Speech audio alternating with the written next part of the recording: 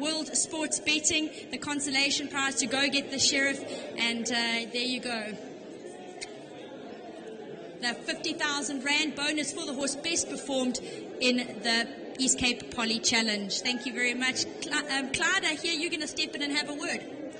Nadine, um, I just want to thank all the supporters uh, that came out here today. Um, everybody came here, and there's lots of people supporting me, and I would just like to thank all of them, each and every one of them that came here with the hope we're going to win, but we've been beaten by a better horse at the end of the day.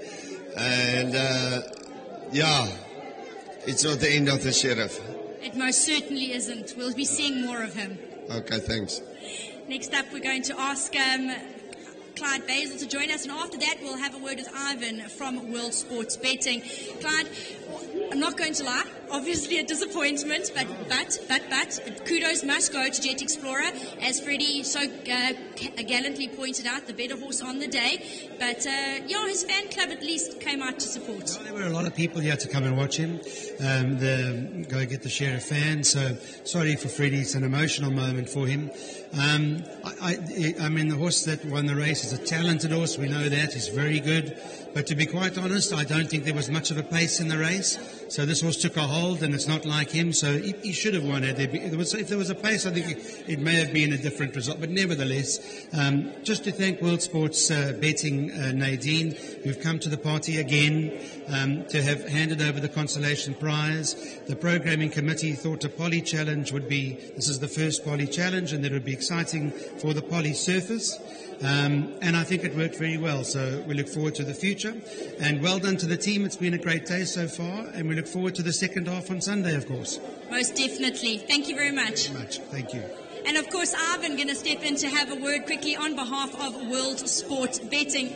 Step on in, Ivan.